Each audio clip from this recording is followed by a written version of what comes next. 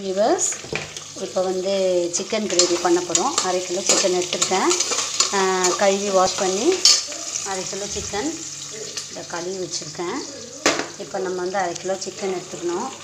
அப்புறமா எடுத்துட்டு குக்கரில் எண்ணெய் போட்டு சோம்பு பட்டை லவங்கம் போட்டு வெங்காயம் போட்டு கருவேப்பிலை போட்டு தாளிச்சிக்கிறோம். வெங்காயம் நல்லா வதங்கிடுச்சு இதில் கொஞ்சம் உப்பும் போட்டுக்கிட்டேன். அடுத்தது இந்த கலவை. இதில் வந்து காஞ்ச மிளகா தனியா மிளகு சீரகம் சோம்பு பட்டை லவங்கம் தக்காளி எல்லாம் நல்லா வதக்கிட்டு இஞ்சி பூண்டு எல்லாம் வதக்கிட்டு இதில் சேர்த்துடணும். இதையும் நல்லா வதக்கிடணும். நல்லா வதங்கட்டும். இதில் காஞ்ச மிளகாவும் போட்டு அரைச்சிருக்கு. அதனால் நம்ம காரம் கம்மியாகவே யூஸ் பண்ணிக்கிடலாம்.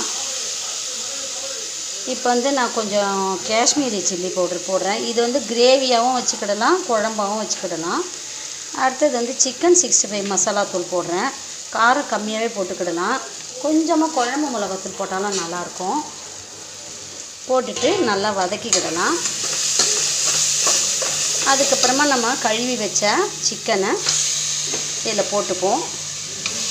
உப்புலாம் ஏற்கனவே போட்டாச்சு. பட்டை லவங்கம் தக்காளி வெங்காயம் இஞ்சி பூண்டு பெரும் சீரகம் மிளகு எல்லாம் போட்டு வதக்கி அரைச்சும் இதில் இருக்குது அதனால் இப்படியே நம்ம கொஞ்சம் வதக்கிக்கிடணும். கொஞ்சமாக தண்ணி ஊற்றினா போதும். இதிலே தண்ணி வரும் சிக்கன்லேயே. நம்ம குக்கரை மூடி வச்சிட வேண்டியது தான் கொஞ்சமாக மஞ்சத்தூளும் போட்டுக்கலாம். நல்லா வதங்கட்டும். குக்கரை மூடி போட்டு மூடி வச்சுடலாம். இன்னும் கூட நம்மளுக்கு குழம்பு மாதிரி தேவைன்னா இன்னும் கொஞ்சம் தண்ணி ஊற்றிக்கிடலாம் குழம்பு மாதிரி வச்சா நல்லா திக்கு கிரேவியை வச்சா ரொம்ப நல்லாயிருக்கும். இது சாப்பாட்டுக்கு பிணைஞ்சு சாப்பிட்டுக்கிடலாம்.